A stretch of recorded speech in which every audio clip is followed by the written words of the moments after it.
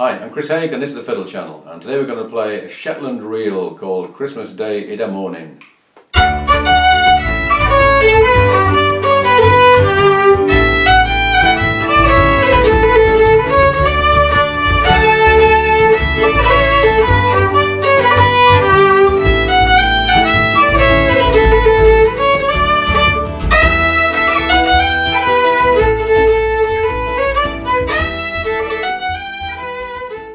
This is a lovely jig and it's the perfect thing to play uh, on Christmas Day if you want to entertain your family and relatives or if you want to drive out unwanted relatives.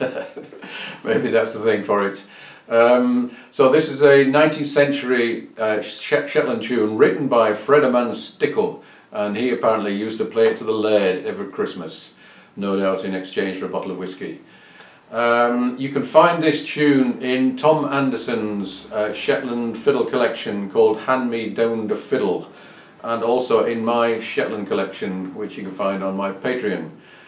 Um, pretty straightforward tune, I'll just show you a few ornaments. There's some double cuts and single cuts. That's a double cut. Uh, a single cut. Or you could call that a hammer on. We've got one um, Scotch snap, which you could play. I think I think in this context I will play it slurred. Um, wherever possible on the A notes, play an open E because a, a, strong feature of Shetland tunes is the what's called the ringing strings. On the B section, try and get that fourth finger drone.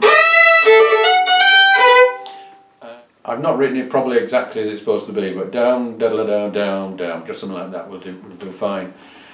So we'll just play a couple of times through. It's very straightforward, uh, nothing difficult about it, but uh, yeah, here we go with the backing.